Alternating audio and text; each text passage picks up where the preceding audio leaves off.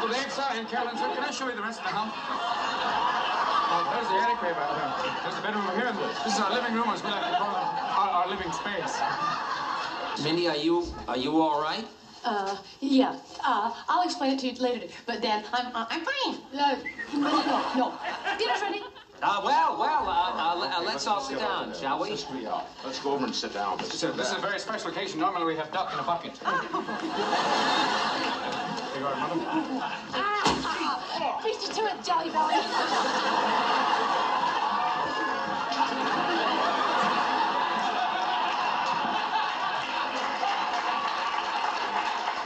Get some therapy for her. Therapy. Mindy, are you all right? She normally likes to do this before dinner. It's kind of like a punk grace, you know. Can you like the food we eat? Mindy? Mindy, I'm hungry. Could I have something to eat? Would you like a, a, a olive? Yes, I'd like an olive. How's this? Mm, mm. Bombs away! I want to tell you something. I want to tell you something. Fit her for an electric bonnet now. Set it at 580. Dave, I think that's just Mindy's way of making a little joke. You should see when she touches her tongue to her eyebrow. we haven't had a fly in here in three years. I'm telling you, you should put a muzzle on her and send her to an obedience school. Hey, Pickle Puss. That does it. That does it. Come on. Come on, Caroline. Let's go. Let's get the coats. Next thing, she'll be howling at the moon. Come on.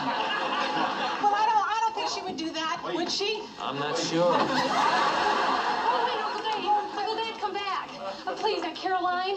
Uh, I don't know what came over me. I. Oh, I, I really apologize. I mean, you haven't even finished dinner, and, and this means so much to Dad and me. Uh, uh, Dave, look, look, I, I, I don't know what's come over Mindy, but please stay. Are you kidding? I told Caroline. I told you. Coming down on a plane, this is going to be a bummer of a reunion, and it's a bummer. I want out. I want out. Oh, Wait, Uncle Dave, sir. I mean, you can't leave with bitter memories in your in your mind. I mean, why not leave with something sweet? Like, I have this delicious dessert I made, and you have to try it, please. You know, incidentally, you seem like the only normal one here. Not bad, not bad. A little on the tart side, kind of gritty. Uh, Uncle Dave, are you feeling all right? Right, right, right, right. Of course, I'm feeling all right, right, right. Here.